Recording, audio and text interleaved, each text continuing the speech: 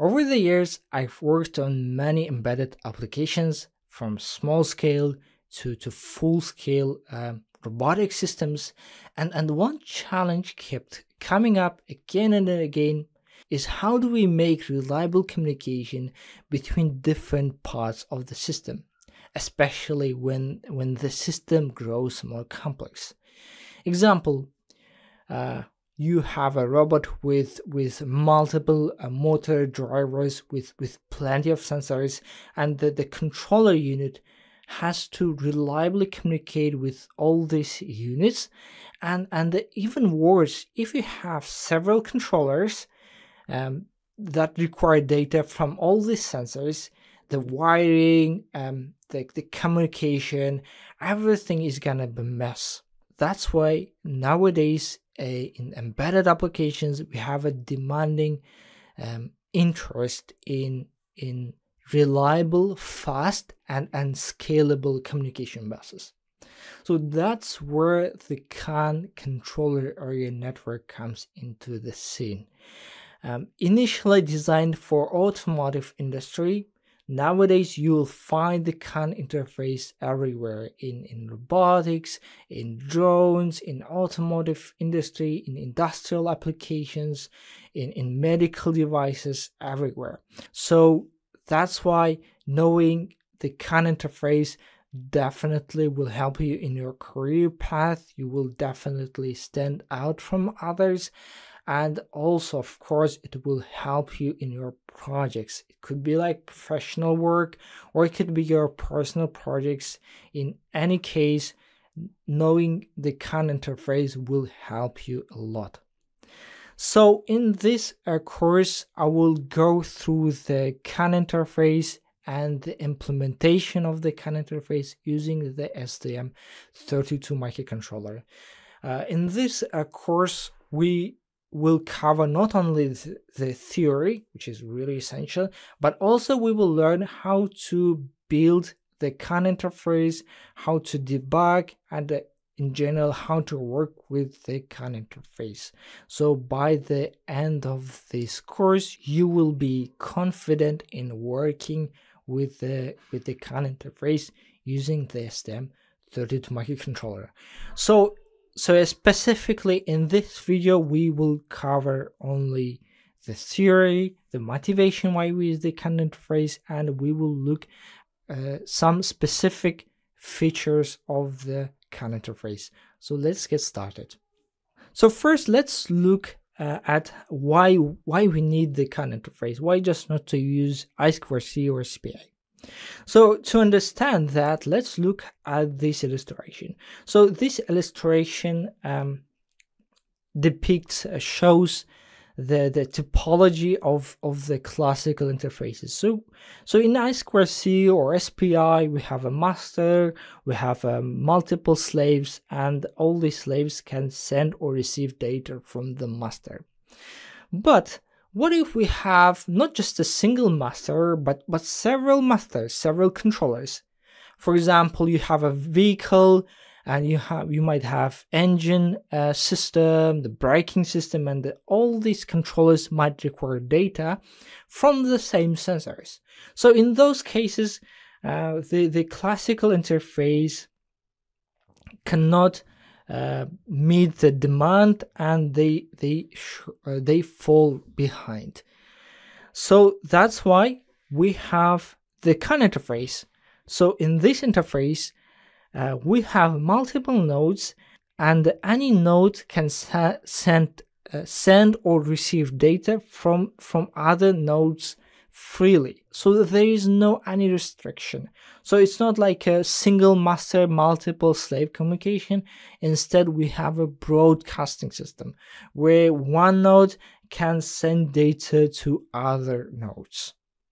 So that's uh, the main advantage of the of using the CAN interface. Another big advantage of the CAN interface is that it is really robust to external disturbances.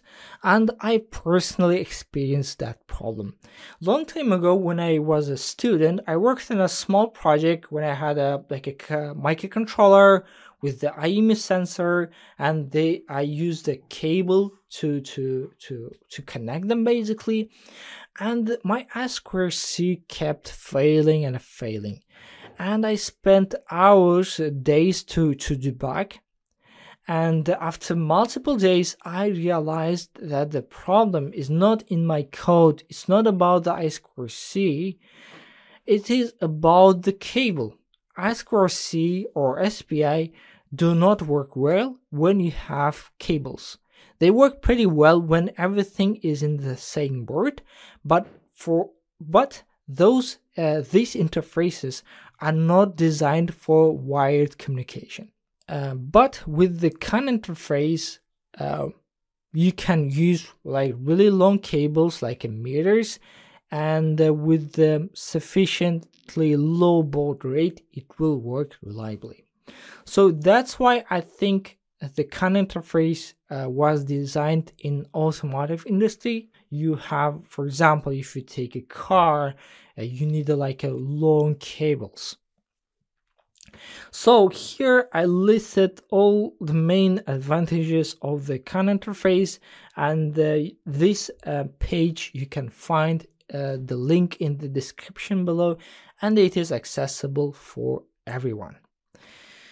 So let's move on and let's look at the CAN routing, CAN interface.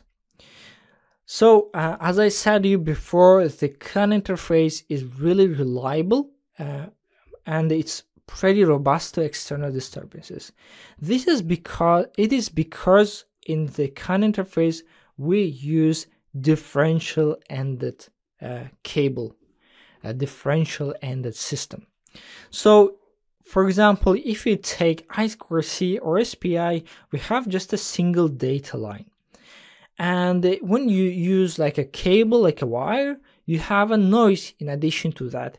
And the receiver, instead of this clean data, it will receive this noisy data.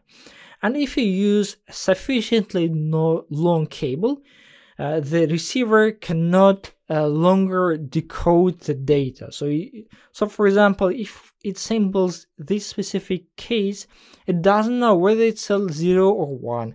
So that's why eventually it will receive corrupted data. In differential um, ended signal, on the other hand, we have two data lines. So we have a CAN positive and CAN negative. So we have, of course, the wire, the noise, we cannot avoid it. But the interesting thing is that when we use the same cable, the noise will affect those lines in the same way. And when the receiver receives um, the, this um, signal, what it does, it takes a difference. And since the noise affected both signals in the same way, when we subtract, when we take the difference, the noise data will be cancelled and we will receive pretty uh, clean data. And for the receiver, it can easily decode the data. So that's why with using the CAN interface, allow us to allows us to use the long cables. So, and it is also true for the USB interface. Next, let's look at the at the routing of the of the CAN interface.